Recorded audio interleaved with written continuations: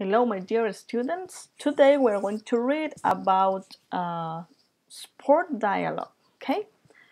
Hola, queridos estudiantes. Hoy vamos a leer sobre un diálogo sobre deportes, okay?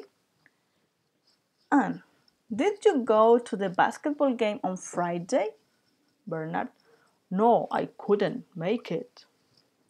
Anne, you missed a really good game. Bernard, oh, really? Who won? Our school did. They played really well. Too bad I was busy. I really wanted to go.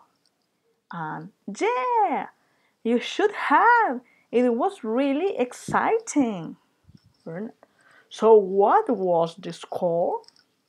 Anne, the score was 101 to 98. Man, that was a really close game. That's what made it so great. I'll make sure and make it to the next one. Okay. Entonces aquí so we have here a dialogue related to a sport, okay? And now you have to answer the questions. Entonces nosotros ya leímos este pequeño diálogo y vamos a responder las preguntas, ¿ok?